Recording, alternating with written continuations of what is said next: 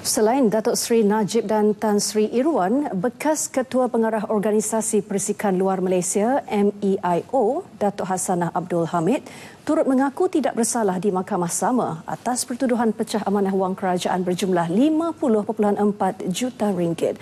Hasanah 61 tahun didakwa melakukan perbuatan itu antara 30 April lalu dan 9 Mei lalu di Pejabat Ketua Pengarah Bahagian Penyelidikan Jabatan Perdana Menteri Putrajaya.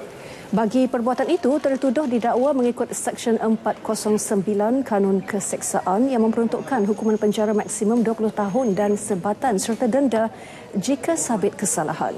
Mahkamah membenarkan Hasanah diikat jamin setengah juta ringgit dengan dua penjamin serta pasport diserah kepada mahkamah sehingga kes selesai. 29 November ini ditetapkan sebagai tarikh sebutan semula kes. 28 Ogos lalu, Hasanah ditahan SPRM kerana disyaki terbabit dalam penyelewengan dana milik kerajaan bagi peruntukan PRU 14.